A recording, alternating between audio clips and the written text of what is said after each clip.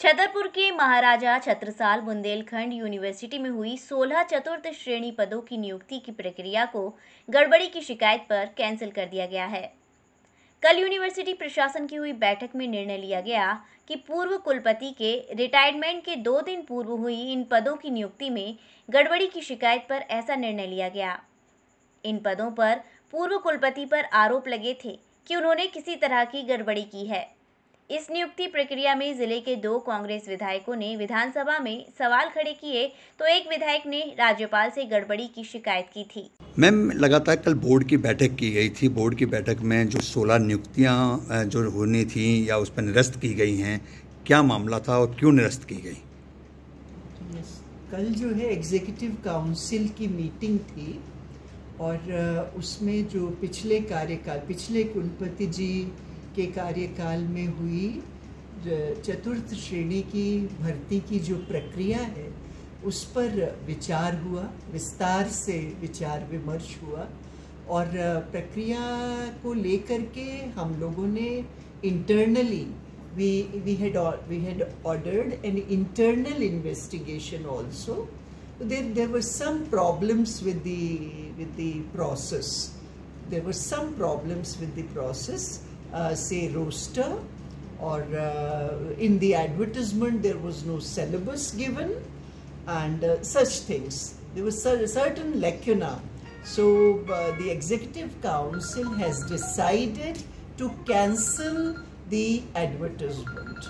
The advertisement which was uh, issued to uh, appoint fourth class employees that has been cancelled by the executive ma'am जिस तरह से आपने बताया कि ये आपकी जो बोर्ड बैठक हुई है इसमें आपने कैंसिल की लेकिन कहीं ना कहीं इसमें क्या भ्रष्टाचार के आरोप लग रहे थे जो आपने कैंसिल किए थे? इसके ऊपर जो पूरी जो प्रक्रिया कैंसिल हुई हैं। पूर्व कुलपति उनके कार्यकाल उनके कार्य प्रणाली उनके द्वारा किए गए कार्यों के बारे में मुझे कुछ नहीं कहना है। अच्छा। मुझे कुछ नहीं कहना चाहिए। बिल्कुल।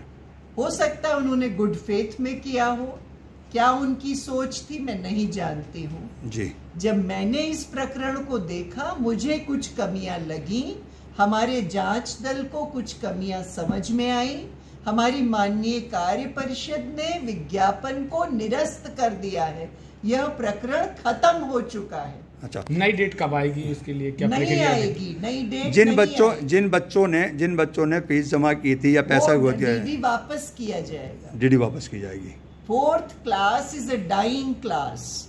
Government of India and the government of Madhya Pradesh have given these orders that fourth class work is to be outsourced.